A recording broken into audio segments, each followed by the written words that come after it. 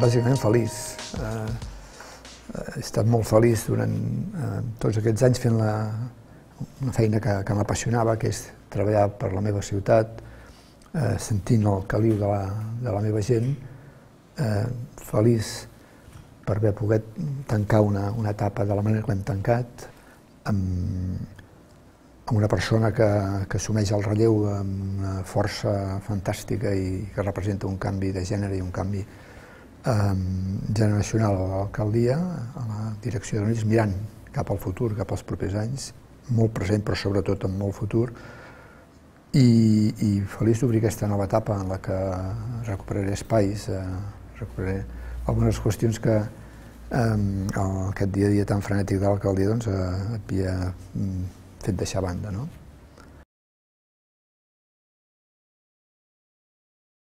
I aquest és un projecte que s'ha singularitzat a través dels mitjans de comunicació per la marca Mayo, però això és injust, eh, perquè m'ha tocat donar la cara, però fruit de tot el que hem fet és una feina intensa de moltíssima gent, de gent que ha estat en el meu grup municipal i de gent que no hi ha estat i que eh, m'ha portat la seva mirada. No? Eh, hem treballat d'una manera molt determinada, amb un compromís molt explícit, amb aquesta visió que ens va portar una regidora fantàstica eh, que, que, que va ser l'Anna Maria Palé, eh, que ens va explicar eh, que el seu despatx estava al carrer. Eh, aquesta idea va formar part sempre de, de l'esperit central de, del grup municipal i de, de la gent amb, que hem treballat en aquest projecte. No? Jo crec que aquí hi ha una, una, una part de, dels perquès d'aquest èxit, no? d'aquest projecte d'èxit.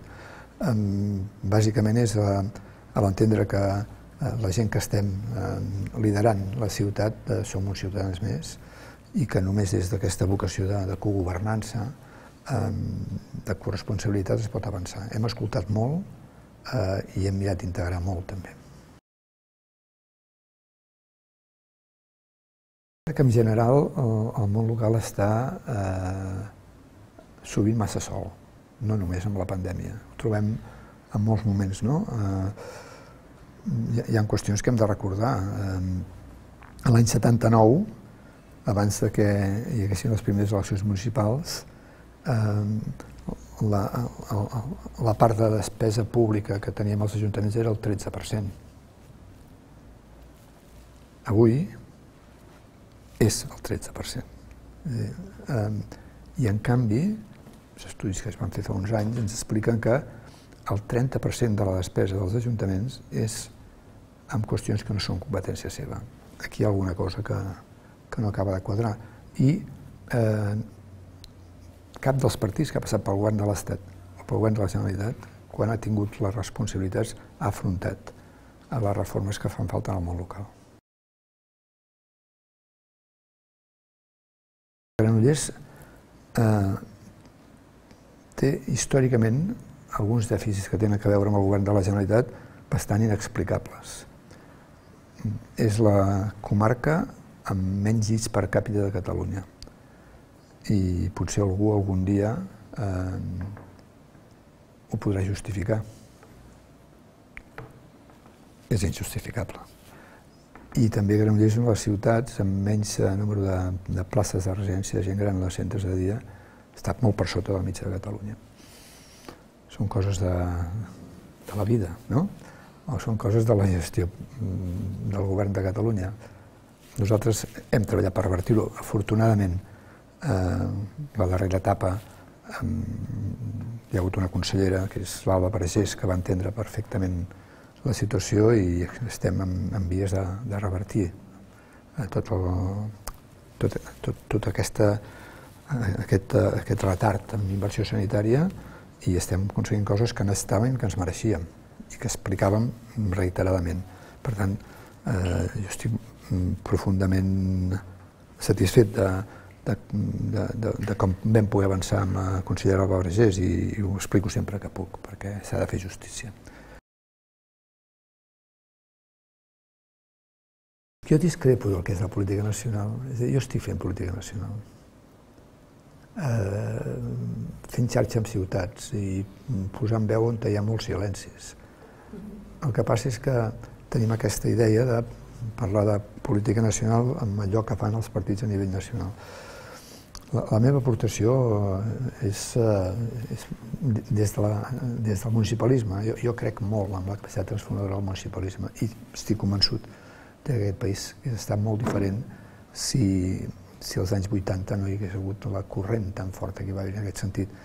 Jo crec que un dels uh, elements més importants de política nacional uh, els va fer un alcalde, que van ser els Jocs Olímpics del 92. És que um, un partit també és un procés de construcció col·lectiva amb, amb tots els uh, alts i baixos que correspon. No? Uh, jo el que he intentat sempre és eh, dir el que pensava amb aquesta visió de les hidromoles eh, i, i a partir d'aquí doncs, eh, hi ha moments en què has estat, t'has sentit millor o pitjor amb el que deia el partit, però, però l'important és entendre que, que aquest és l'espai per explicar-te, no? I segueix sent-ho. És que ara és el moment d'aliances àmplies és imprescindible. El país no pot, no pot perdre eh, més trens, no, no, no, no pot seguir frenat. Jo el veig frenat. Eh, el país necessita grans acords per avançar. I per tant, no seré jo qui posaré els límits. Eh, el que es tracta és de trobar aquests espais. Jo crec que hi ha hagut bones notícies en els darrers mesos sobre aquestes qüestions i que estem en el bon camí. Des d'aquest punt de vista és molt important que una força política com és el PSC jugui aquest paper central. Per això, per mi va ser incomprensible que en el moment en què es parlava de pactes es posés una línia vermella amb el PSC. És el que no s'ha de fer.